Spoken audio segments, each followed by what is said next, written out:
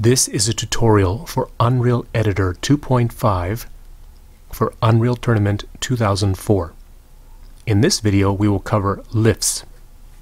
In the first video I just made one room, which is this brush here. Let me select it for you, which is that brush here. And so for this tutorial I basically duplicated it and made a second one up here. So you can see it's like two floors and I still have the player start here on the ground floor but I've moved the rocket launcher up to the second floor. So if the player wants to get the rocket launcher they will need to get a lift over here. Now it's a slightly different from UT99 but it's super easy so let me show that to you. First you go to your static mesh browser which is this icon over here. Then you go file and open a package. And since we used humanoid architecture in my previous video, we're going to stick with humanoid hardware. Click open.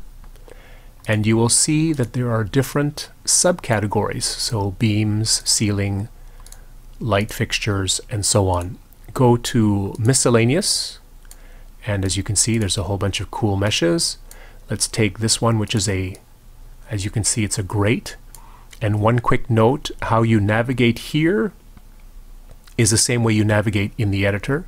So you hold down your left mouse button to, to move around, and then you hold down both the left and the right mouse button to move up and down. So let's just take this piece. This piece is going to be our lift. So while this is selected, you can minimize that and then all you need to do is come over here to the left hand side where it says add mover. And all you need to do is click on it and there it is. And notice that the mover is actually put where you had put the red brush so keep that in mind as well.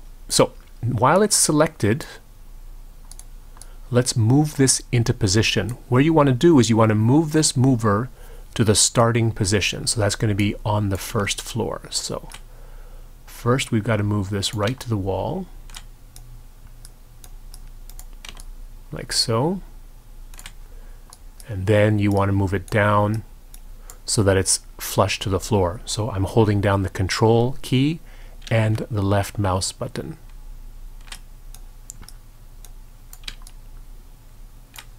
So there, now you can see in this view that it's right on the floor and it's right to the edge of the wall and you can actually see it here as well. So this is key zero. That means this is the starting position for your mover. Now what you want to do is you want to right click on it and go to key one and move this thing up.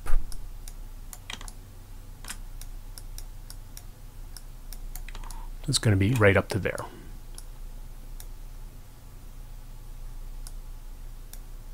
So this is key one. This is the open position.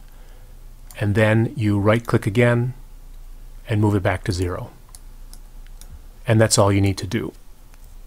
So I'm just going to add a few properties to it, uh, but this is already covered in my UT99 video for movers. You right click, you select properties, and you can change, you can come into mover. You can change this. So here it says return when encroach, which means that if it accidentally hits a player, it's going to move back up. I would rather ignore, so I choose that. This is how long it takes to move, which is one second. And this is how long it stays open. So let me reduce that to two seconds. And a little bit of a delay. So let's say just 0.5 seconds for a delay, which means that when the player stands on it, there's just going to be a little bit of a delay before it moves up. And then if we open up our sound browser, let's open up a package for the sound. I'm going to use Slaughter. And here you can you can test them. So if I select machinery as the subcategory, There, that's the movement sound. So you come over here to mover sounds for the moving. and then you come here to ending sound, use that for closing, and then the opening sound is there. So I've set up the sounds, the time for it to move, and that's it. So as you can see, it's a lot easier in UT 2004. Now let's play test it.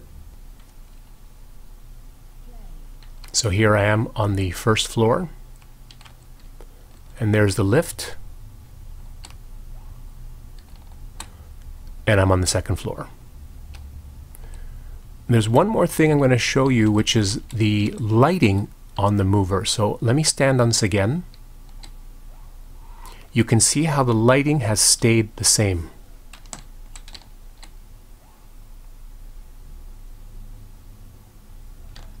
That means that it has calculated the lighting once, and that'll be the uniform lighting regardless of where you are on the mover. But in fact, I have a light source up here. So you will right click on the mover and under mover you change this to dynamic light equals true. Now rebuild and play. So now you'll see that when I move on this the lighting changes dynamically based on where you are. So that's it for lifts. You can use the exact same technique for doors. So you just need to have a static mesh that's a door instead of a platform like this.